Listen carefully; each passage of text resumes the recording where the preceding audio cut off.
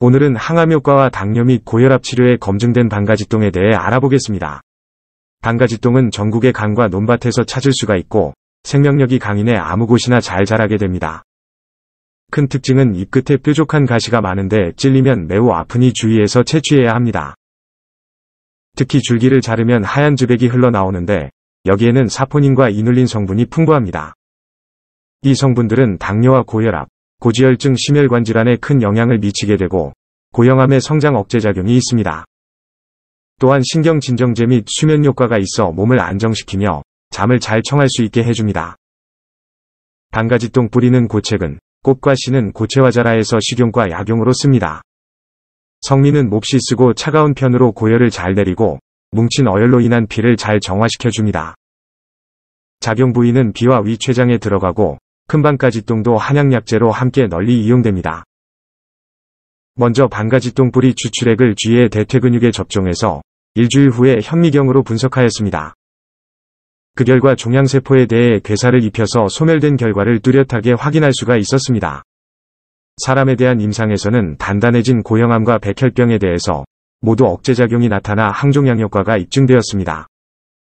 또한 여성의 유홍에서 굳은 응어리가 맺히면서 아파오는 유선암에 매우 탁월한 효과를 보이기도 했습니다. 참고로 고형암은 고체로 된 암세포가 덩어리로 자라난 형태를 말하고 백혈병은 혈액세포에 발생한 암으로 비정상적인 혈액세포가 과도하게 증식한 경우를 뜻합니다. 결과적으로 반가지똥은 암의 근원이 되는 손상된 세포를 건강하게 재생시켜주어 전체적으로 항암 치료에 적용될 수 있습니다. 암 치료에는 반가지똥 뿌리를 건조시켜서 2-30g의 물 1리터를 붓습니다.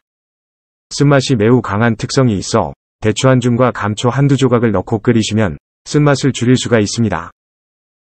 그리고 다리넥은 아침과 저녁으로 나누어 공복에 하루 2회씩 복용하시면 되고 당뇨나 위장이 허약하신 분은 식혀서 식사 후에 먹으면 됩니다.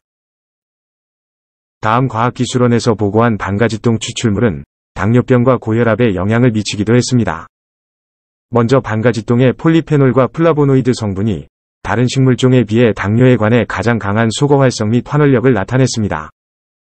당뇨 효소와 촉매 반응 부산물 측정 결과에서는 티로시나아제 효소를 47.38% 저해하였고 포도당 촉매 효소인 글루코시다아제는 56.22% 저해 활성을 보였습니다. 그리고 2mg 농도에서 혈관 수축으로 혈압에 관한 전환 요소의 활성은 각각 62.03%와 86.34%로 감소시켰습니다. 이 결과를 토대로 해서 반가지똥은 당뇨와 고혈압 효과에 매우 유효한 식물임을 확인할 수 있었습니다.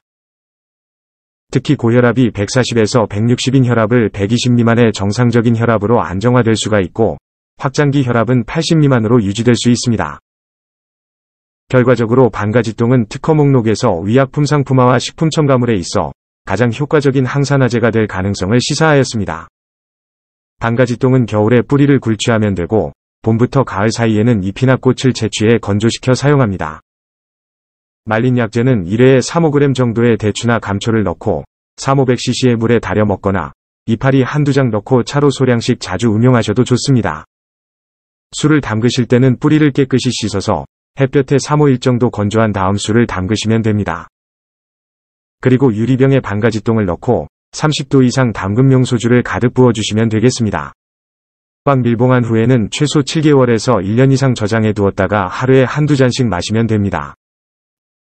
담금주는 원기회복과 무기력증 등의 개선된 효과를 보실 수 있고 식후에 마시면 답답한 체증과 피로가 풀리면서 속이 개운한 느낌이 들게 됩니다.